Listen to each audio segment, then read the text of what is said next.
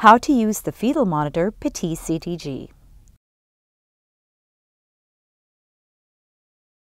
This is the transducer for the fetal heartbeat. The sound of the heartbeat is heard from the speaker. It has a power button and a volume button at the side. Volume adjustment can also be done on the application. This is the transducer for uterine contractions. It has a power button and a preset button to set the reference value at the side. Presets can also be set on the application. Accessories included are the AC adapter for charging, a branch cable, and a conversion adapter. On top of that, there are two belts and a gel.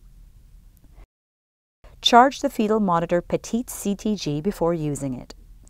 Connect the power adapter, branch cable, and the conversion adapter.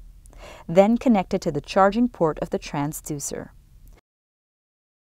When charging starts, the orange light turns on. It will take about one hour to complete charging. You cannot use the device while charging. The light will turn green when the device is fully charged. Charge the tablet with a specific cable. If you are using a smartphone, you should also charge it as well. Turn on the tablet and launch the Fetal Monitor Petit CTG application.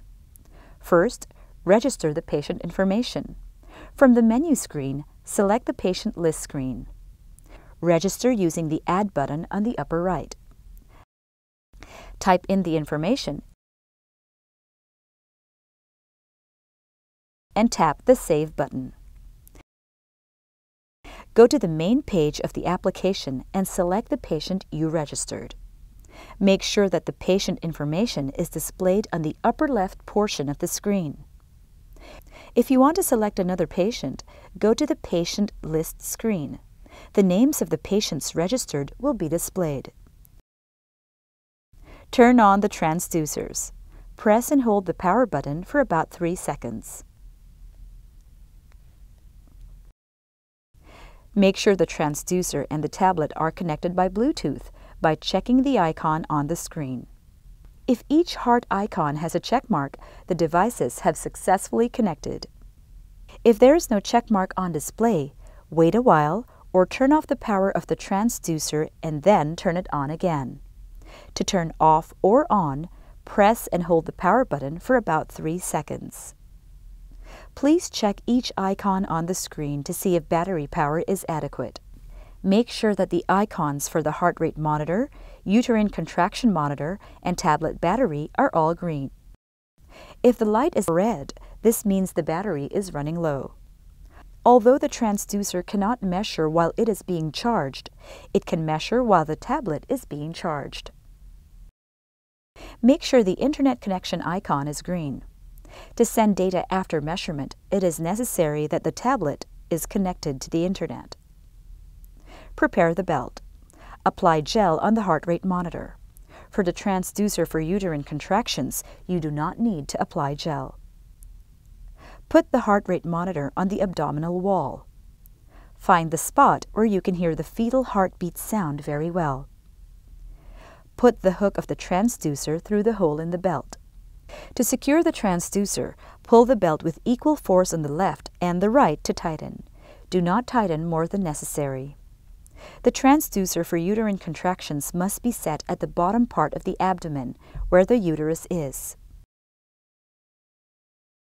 Adjust the volume. Tap FHR button.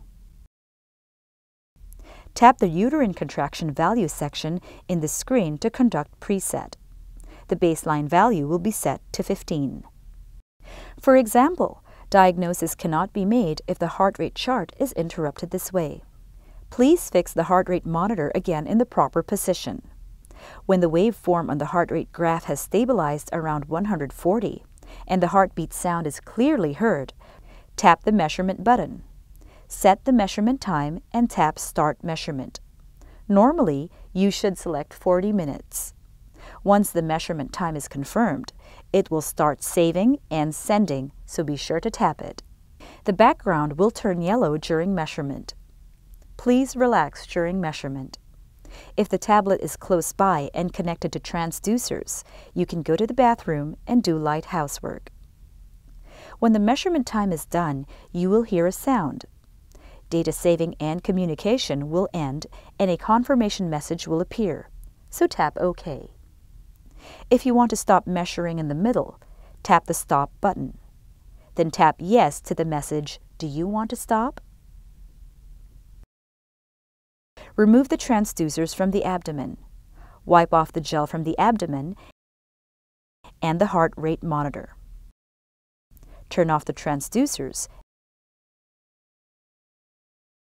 and store it after charging. If there are other operations that you would wish to know, please check the instruction manual.